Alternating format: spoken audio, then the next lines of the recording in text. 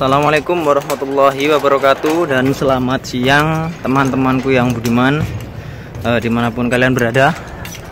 Saya doakan semoga kalian sehat selalu dan dimudahkan segala urusan dari Tuhan yang Maha Esa.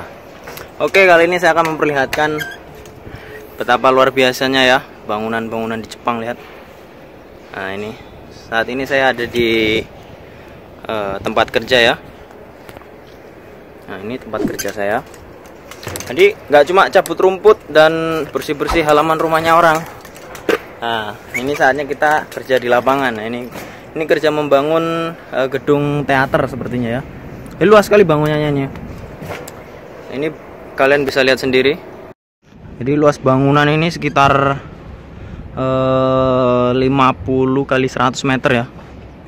Nah ini kita berada di kita buat kayak buat penyangga untuk atapnya nih ya. Jadi beginilah. Nah, ini Jepang tuh ya kalau buat bangunan. Sangat presisi saudara. Lihat itu ya. Nah ini. Jadi ini besi-besi. Ini besi utuh nih ya.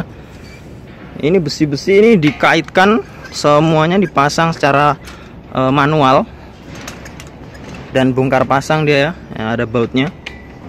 Dan pakai piston dia. Jadi ini bangunan rancangan untuk tahan gempa. Nah itu pistonnya. Jadi kalau ada gempa dia kayak ngepir-ngepir begini ya. Jadi nggak akan membuat uh, roboh bangunannya. Ini proyek ini baru selesai sekitar 60% ya. Yang proses apa? Proyek atapnya. Nah ini. Ini kami selesaikan sudah 60% nah ini ini di atas ketinggian kita ya. Kita di atas ketinggian sekitar uh, berapa meter ini? 10 meter 15 meter lah dari permukaan tanah. Nah, ini jadi bangunan besar sekali mau dibuat uh, bangunan teater mungkin ya. Kalian bisa lihat sendiri di sini. Oke jadi buat teman-teman di mana pun ada berada kalian tuh harus tetap semangat di mana pun kalian bekerja. Gak usah banyak mengeluh jadi seperti kata temanku rezeki itu sudah ada yang ngatur dan pasti nggak akan tertukar. Ya kan? Jadi kerjanya di luar negeri itu katanya enak katanya enak. Ya ada enaknya ada enggaknya.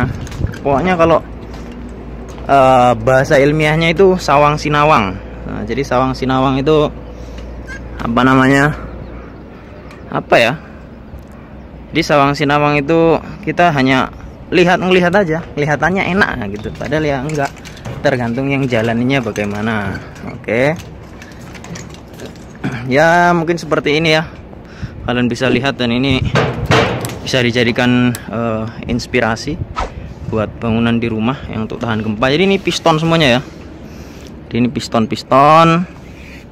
Ini kalau ada gempa ini mereka goyang. Jadi cuma jadi cuma ngepir-ngepir di tempat gitu aja ya.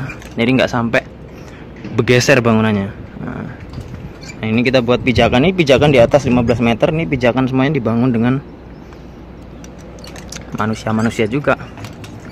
Oh, oke lah teman-teman. Tetap jaga kesehatan kalian. Jangan lupa untuk selalu berdoa dan semangat terus.